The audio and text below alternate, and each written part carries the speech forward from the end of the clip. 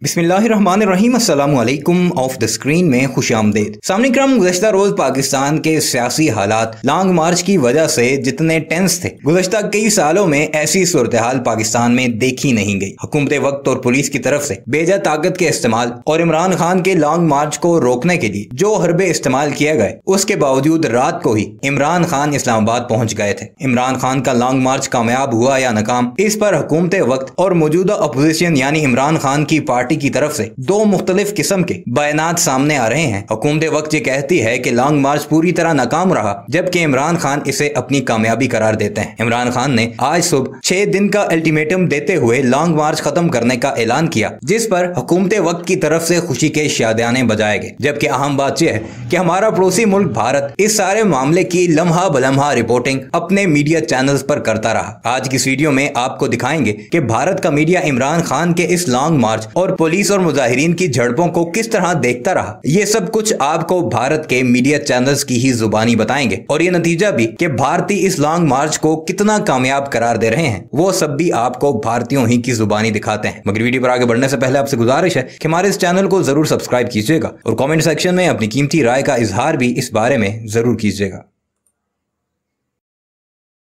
देश में हमारी अगली खबर पाकिस्तान से, जहाँ इमरान खान के आज़ादी मार्च में ज़बरदस्त टकराव देखने को मिल रहा है। इमरान खान के निर्देश के बाद उनके समर्थक इस्लामाबाद तक मार्च पर अड़ गए। जगह जगह सुरक्षा बलों और प्रदर्शनकारियों में भिड़ंत हो रही है। कई जगहों पर प्रदर्शनकारियों का लाठीचार्ज किया गया। आँसू गैस के गोले छोड़े गए। दरअसल, पूर्व प्रधानमंत्री इमरान खान ने आज एक बड़ा जुलूस निकालने का ऐलान किया था। इमरान खान ने कहा कि चुनाव का ऐलान होने तक वो आंदोलन, प्रदर्शन वापस नहीं लेंगे। वही प्रधानमंत्री शहबाज शरीफ की जो सरकार है, उसने मार्च की इजाज़त नहीं दी, जिसके बाद इमरान खान के समर्थक सड़कों पर आ गए।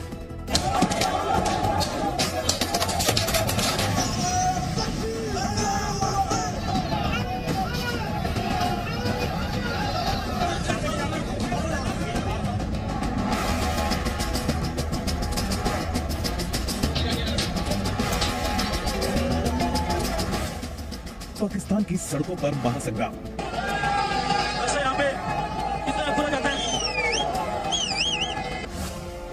इमरान समर्थकों और सुरक्षा बलों में घमासान।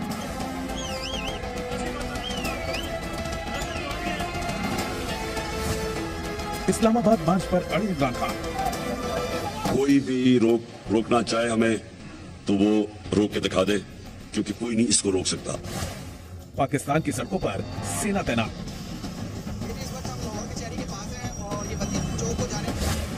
पाकिस्तान में गृह युद्ध जैसे हालात। पाकिस्तान में एक बार फिर सरकार और विपक्ष आमने सामने हैं। सड़क पर इमरान समर्थकों और सुरक्षा बलों में संघर्ष छिड़ा हुआ है। तस्वीरें लाहौर की हैं, जहाँ पर इमरान समर्थकों ने पुलिस पर पथराव किया। इस्लामाबाद की तरफ़ बढ़ने से रोकने के लिए लगाए गए बैरिकेड को रास्ते से हटा दिया गया। लाहौर की सड़कों पर घंटों पुलिस और इमरान समर्थकों में झड़प होती रही। नाराज़ इमरान समर्थकों ने गाड़ियों में भी तोड़फोड़ की। कई गाड़ियों को निशाना बनाया गया। हालात को नियंत्रित करने के लिए पुलिस ने लाठीचार्ज किया। लाठियाँ बरसाकर इमरान समर्थकों को तितर बितर किया। हालात तब भी नहीं संभले तो इमरान समर्थकों पर आँसू गैस के गोले छोड़े गए।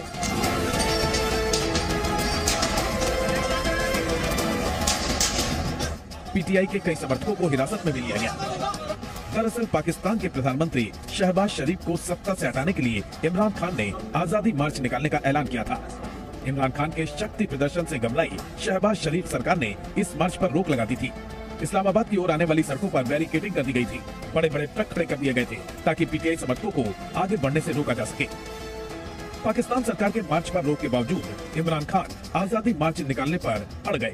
पाकिस्तान सरकार के आदेश के बाद इमरान ने चुनौती दे दी कि हिम्मत है तो मार्च रोक कर दिखाए। फितना और फसाद फैलाने के लिए जमहूरी या लॉन्ग मार्च के नाम पे जो है इनको इजाज़त जो है वो नहीं दी जा रही। ये पाकिस्तान का तारीख का सबसे बड़ा काफिला लेकर निकलूँगा। और कोई भी रोक रोकना चाहे हमें तो वो रोक के दिखा दे क्योंकि कोई नहीं इसको रोक सकता। सरकार को चुनौती देने के बाद इमरान खान ने समर्थकों से इस्लामाबाद की तरफ़ मार्च करने का भी आह्वान किया। इमरान ने दावा किया कि वो पाकिस्तान के इतिहास में सबसे बड़े जुलूस का नेतृत्व करेंगे। मैं इस वक्त शुरू कर रहा हूँ अपनी मार्च का आगाज़ पिशावर से। मैं पहुँच रहा हूँ सीधा बली इंटरचेंज के ऊपर। सारे पख्तूनख्वा के लोगों को मैं उधर दावत दे रहा हूँ कि आपने बली इंटरचेंज पहुँचना है और उधर से मैं इस कारवान को, इस आज़ादी के कारवान को, हकीकी आज़ादी के कारवान को मैं लीड करूँगा और इंशाल्लाह उधर से हम इस्लामाबाद की तरफ़ निकलेंगे। इस बीच पूर्व प्रधानमंत्री नवाज़ शरीफ की बेटी मरियम नवाज़ ने इमरान खान पर हिंसा फैलाने की साजिश करने का आरोप लगाया। मरियम ने ट्वीट करके दावा किया कि पीटीआई कार्यकर्ताओं के पास से ए सैतालीस और अमेरिकी राइफलों समेत बड़े पैमाने पर हथियार बरामद किए गए हैं। मरियम ने हथियारों की तस्वीरों के साथ ट्वीट किया कि पुलिस ने पीटीआई के लाहौर के पदाधिकारियों जुबेर नियाजी और बजाज नियाजी की गाड़ियों से हथियार बरामद किए हैं। केस दर्ज कर लिया गया है। ये तथा कथित लॉन्ग मार्च का बदसूरत चेहरा है। ये इनके इरादे हैं। दरअसल इमरान खान की कोशिश किसी भी तरह राजधानी इस्लामाबाद पहुँचने की है। इमरान ने चुनाव कराने की मांग माने जाने तक आंदोलन नहीं छोड़ने की कसम खाई है। उधर शहबाज शरीफ सरकार ने पाकिस्तान के कई शहरों में कार्रवाई करके पीटीआई समर्थकों को गिरफ़्तार किया है। राजधानी इस्लामाबाद को किले में तब्दील कर दिया गया है। इस्लामाबाद के रेड जोन की सुरक्षा के लिए पाकिस्तानी सेना की तैनाती की गई है। ऐसे में अगर इमरान खान समर्थक हिंसा करते हैं तो उन्हें सीधे सीधे पाकिस्तानी सेना से भिड़ना होगा। Bureau report, C media. बड़ा अपडेट ये कि इमरान खान ने सरकार से डील की खबरों को सिरे से खारिज कर दिया है। पाकिस्तान सुप्रीम कोर्ट का अधिकारियों को निर्देश, पीटीआई को प्रदर्शन के लिए वैकल्पिक जगह दी जाए। प्रदर्शन के बाद घर जाने दिया जाए। पाकिस्तान पाकिस्तान में भले ही सत्ता बदल जाए लेकिन वहाँ के हालात नहीं सुधरते। पहले वहाँ इमरान खान को हटाने के लिए बवाल हुआ और अब शहबाज शरीफ की सरकार के खिलाफ इमरान खान और उनके समर्थकों ने मोर्चा खोल दिया। ये तस्वीरें इमरान खान की आज़ादी मार्च की हैं, जहाँ उनके समर्थक उग्र हैं।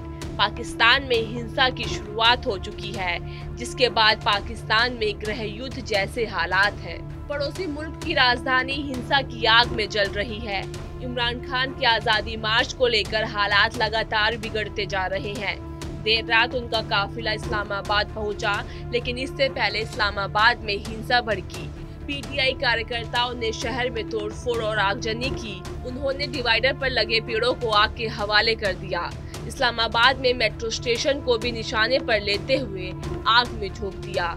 इस दौरान पीटीआई कार्यकर्ताओं और पुलिस के साथ भीषण झड़पें भी देखने को मिली।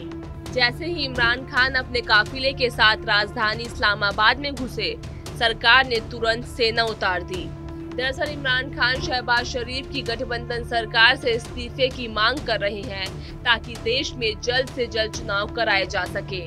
वहीं शहबाज शरीफ सरकार ने इमरान खान को धमकी दी थी कि दम है तो इस्लामाबाद के रेड जोन में आकर दिखाए।